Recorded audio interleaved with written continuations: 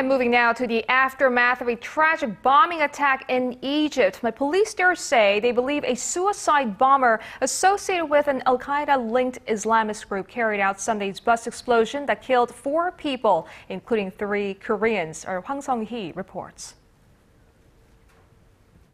Egyptian security forces say a suicide bomber was probably behind Sunday's deadly bus bombing in Sinai that killed four people, including three Koreans.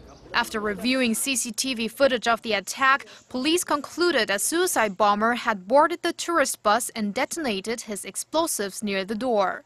A spokesman from Egypt's Interior Ministry said Monday that the preliminary investigation shows some tourists disembarked to get their bags when a man walked onto the bus and an explosion followed when he reached the third step.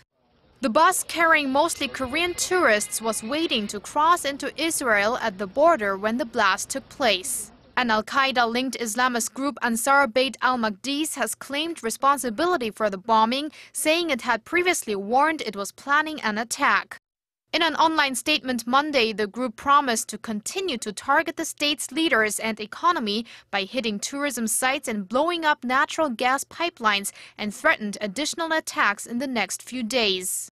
Sunday's bombing was the first targeting tourists since the overthrow of President Mohamed Morsi last July, sparking fears Islamic militants are turning to attack Egypt's tourism industry, which is a pillar of the country's economy.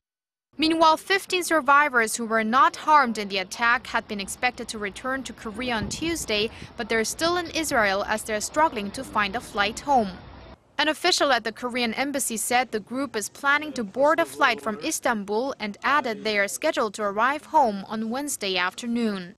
Another group of 15 Koreans who were all injured in Sunday's bombing are expected to depart for Korea on Friday. Some of them will need additional medical operations. As for the three Koreans who were killed, the process of returning their bodies is ongoing. Kwon So-ah, Arirang News.